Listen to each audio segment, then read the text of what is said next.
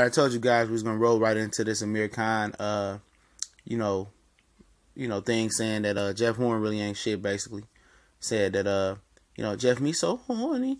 You know, didn't impress him. He was ringside. He was over there doing a um a reality show called The Celeb in the UK. Uh, they were shooting it on Australia. He got voted out, so he decided to hang around in Australia and catch Horn versus Gary Corcoran. And it's your boy CJ Goodfellow. We back with the boxing clinic. You dig?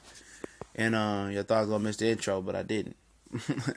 but uh, he said, you know, he see why Manny Pacquiao, you know, picked Jeff Horn and he still lost. And Khan is back to talking that ish. always liked Amir Khan in his mouth, man. A lot of people say, oh, you get knocked out, but Amir Khan get knocked out, he always bounced back though. You know what I'm saying? He took a risk to fight Canelo Alvarez. I don't know if he was trying to one up Kell Brook or Kell Brook was trying to one up him, but it didn't turn out well for either one of them. He took a long time out the ring and hopefully refresh. He go back to, to the Bay Area and get get with Virgil and they come with a plan. You know, Virgil said it told him not to take that fight with Canelo Alvarez, but you know he was hell bent on taking it. So you know it is what it is. But you know, kind of seeing what I've seen. You know, Horn easy pickers, man. Let's let's keep it real. Uh, if you're an elite fighter in the welterweight division, don't mean you're an elite pound for pound fighter in the grand scheme of things. But if you're a elite fighter in that in that welterweight division, and you lose to Jeff Horn, something wrong.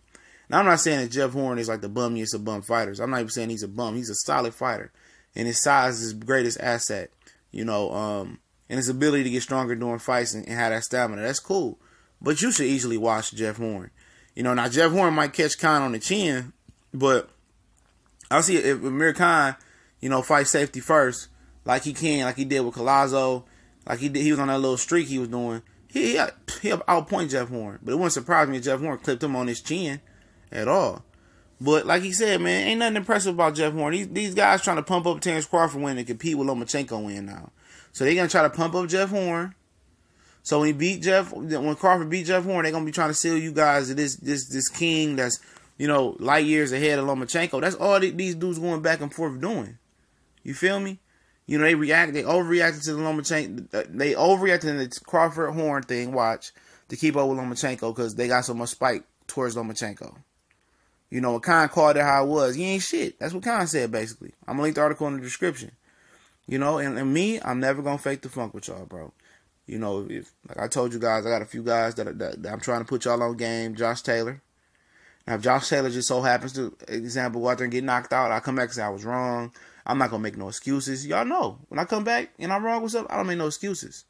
You know, majority guys, y'all come here and tell me I was wrong with Lomachenko, Rigondeaux, and a few other fights. I don't see y'all no more. Now, a lot of y'all came on and saluted Real motherfuckers. You know, I, I, I fuck with y'all.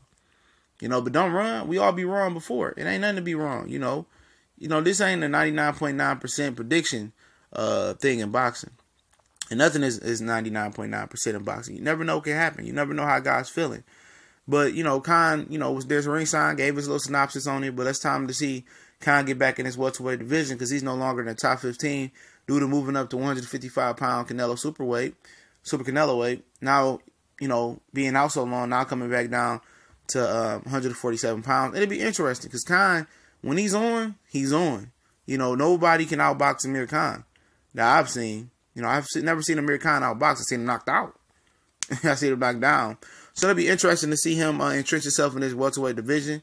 If Pacquiao chooses to stay, I mean, there's a lot of great fights for Amir Khan. You know, if I'm Errol Spence and I can't get a Keith Thurman and Amir Khan want to fight before Ramadan in the summer, he get a, a tune-up fight or whatever, or he want to come back in the winter, and I, and I fight Keith Thurman, I think that's a good fight for Jesse Vargas, for for Errol Spence especially. You know, if you want to go back to the to the UK and fight Amir Khan, I think that's a good fight for him. You know, you know you'll always knock him out. So it's a lot of good fights for Khan, but I agree with Khan on here, man. Jeff Horn ain't that good, homie. We gone.